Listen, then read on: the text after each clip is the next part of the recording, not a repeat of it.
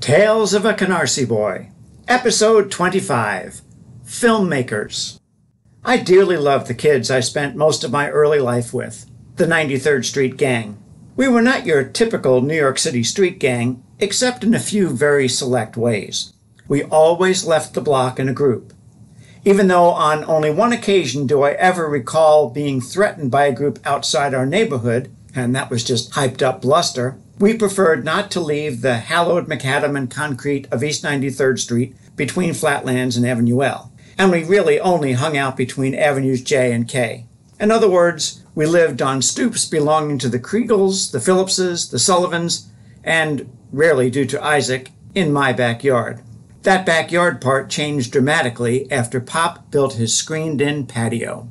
I always looked up to my dad as an athlete and a man of faith, but I never really saw him as a carpenter until he got the idea to use the east wall of an old shed to create an elaborate lean to that featured three sides made of wood framed storm windows in the winter and wood framed screens in the summer.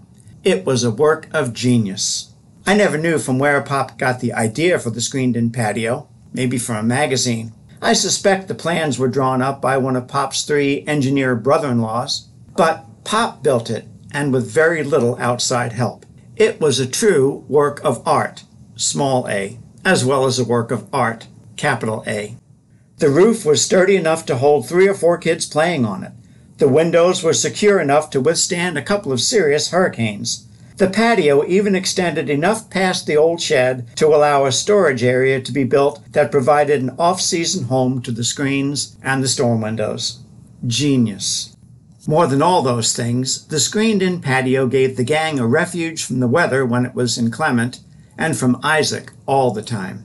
The patio was enjoyed on summer nights by the gang, on Sunday afternoons by family and mom and pop's friends, and on Sunday nights after church by the kids from Grace. We held our carouses there when we weren't carousing at the parsonage. Being denied almost every worldly pleasure our non Grace friends enjoyed, the one thing we got was an after church gathering, a carouse, about once a month, where we could really be just normal kids. Okay, we couldn't swear, and at the parsonage we couldn't even listen to top 40 music, but the silly icebreakers, the serious talks, and the snacks were worth it. Add the Beatles and the Stones to the mix, at least in the screened in patio, and it was almost heaven for kids who thought heaven was only for them.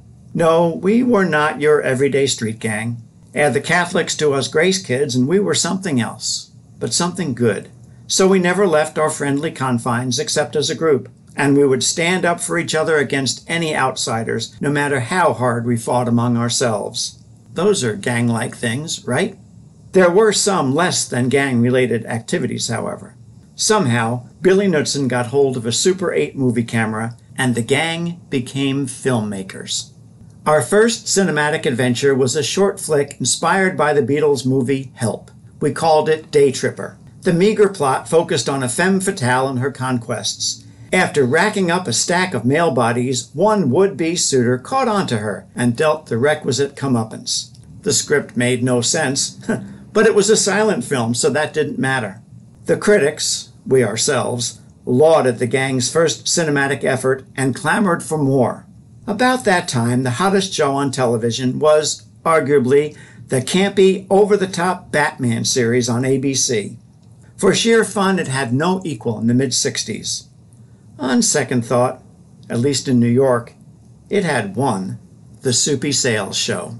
Soupy was a slapstick comic who mixed adult tinged humor with kid friendly characters like stuffed dogs and lions. While his career in both radio and television spanned three decades, it was his years on WNEW, Channel 5, and NYC that made him an almost household name. The Soupy Sales Show was hip enough to attract guests like Frank Sinatra and Judy Garland. It featured pies in the face, Soupy's trademark, as well as sketches kids laughed at but only grown ups understood. The gang loved Soupy, none more than me. I bought every piece of Soupy Sales merchandise I could get my parents to spring for. I had a big Soupy button I wore to church proudly, but the pièce de résistance was my oversized, official Soupy bow tie, bright red with white polka dots. I actually wore it to school one time, but the teachers made me take it off. Too distracting. Not too long ago, I think I saw it in a box somewhere. I'll have to look again. As much as I loved Soupy Sales, he and his show provided me with two of the greatest disappointments of my young life. The first was all on Soupy himself. The second, I'm sure he had little to do with. One year, during the successful run of his New York television show, Soupy was forced by the network to work on New Year's Day. He was not happy, so he decided to do something outlandish, but not intentionally bad, on his show that day. Because Soupy regularly broke down the fourth wall, he spoke directly to his viewers, that is, the predominantly little kids who tuned in every day, even on New Year's. Soupy simply instructed his young fans to go into their parents' bedrooms, assuming they were sleeping off New Year's Eve, remove the green, wrinkly papers from their purses and wallets, and send them to him at the address shown on their TV screens. He really didn't mean it seriously, or so we who believed in him believed. Soupy may not have taken himself seriously, but his little fans certainly did, Within days, the network was deluged with hand printed envelopes containing cash. Soupy announced on air that all monies received would be donated directly to charity. A very embarrassed WNEW wanted to suspend Soupy, but a groundswell of fan support, presumably his young adult and teen fan base, held the network in check. I was in between, maybe 13 or 14. I knew Soupy was kidding and didn't bother me at first. Then I heard about the little kids who trusted their idol stealing money from their parents' rooms. It didn't feel right. He should have known better. I didn't know then why he did it. Maybe it would have mattered. I don't know. I was just disappointed in my pie faced Soupy. If idols are false gods, then that would have made Soupy Sales my false god. But the real, if you're so inclined to believe, one bestowed on me an even greater disappointment that year. Have you ever wanted something so strongly you started to believe you deserved it? And then the more you wanted it, the more you felt it was already yours? That's how I felt about the full scale rideable replica of a 19th century high wheeled bicycle that was first prize in a contest held by one of Soupy's sponsors. All I had to do was enter or write a short essay, which would have made me even more confident, aspiring reporter that I was, I sent in the requisite box top, index card, essay, whatever, and like Ralphie in A Christmas Story, waited for my prize. I dreamed about that bike. I truly expected to win that contest. Why? Because I had prayed about it. I prayed about it every day before, during, and after the Soupy Sales show. I imagined myself seated over that giant front wheel high above the kids with their 26 inch Raleighs and Schwinn's. I knew the bicycle was mine. The contest ended. I waited to receive news of when the high wheel was coming, or at least a congratulatory letter telling me where to pick it up.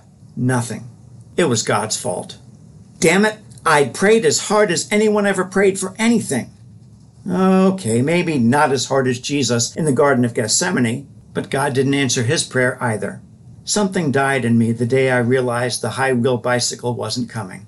No, I didn't lose my faith, but I was severely disappointed in a God I thought would do anything for me. You might call that being disillusioned. That is, having my illusions about God removed. To a 13 year old, it just plain sucked. After Soupy Sales, there was Batman, who was big everywhere. The 93rd Street Gang had to capitalize that, and this time we had a plan. Setting up our Batman movie took days, maybe even a week. We had starring roles to cast, which went to Eddie Gentile, Batman, and Billy Knudsen, Robin. Our movie would include all the male villains from the TV show that we could think of the Joker, the Riddler, the Penguin, even a one episode minor bad guy called Falseface, who always wore a mask and a black turtleneck with his trademark FF on his chest. We needed the lowest rung on the gang's ladder for that role me.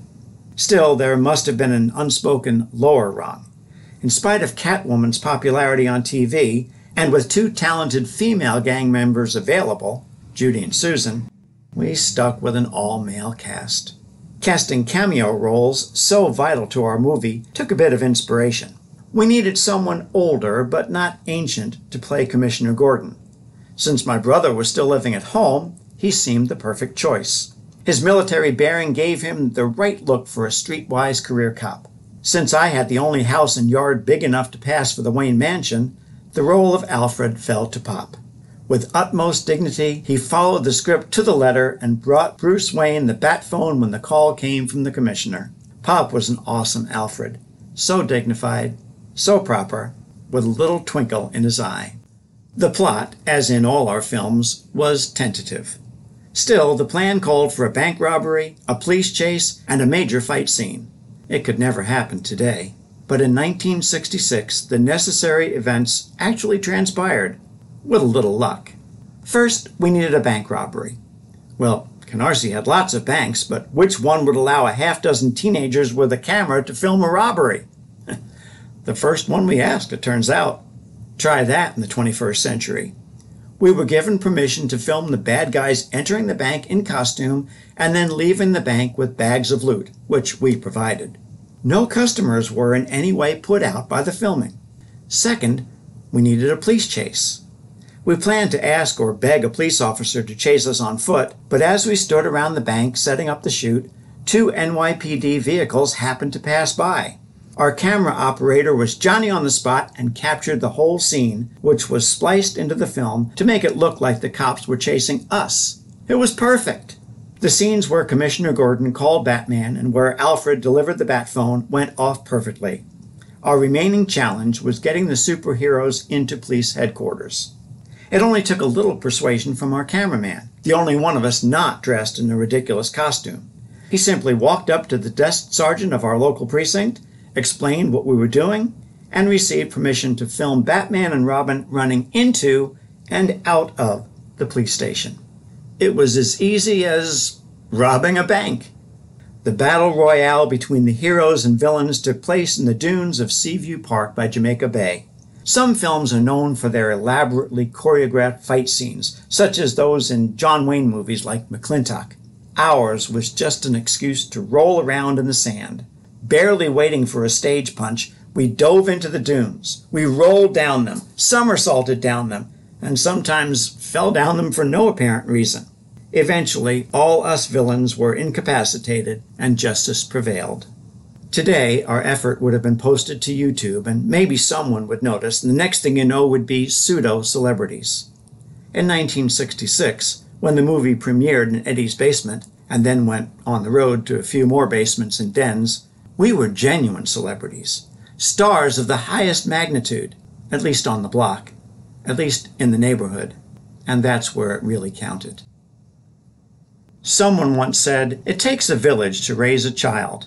That is no less true in Brooklyn than in Zimbabwe. Read about neighborhood parenting in the next episode of Tales of a Canarsie Boy.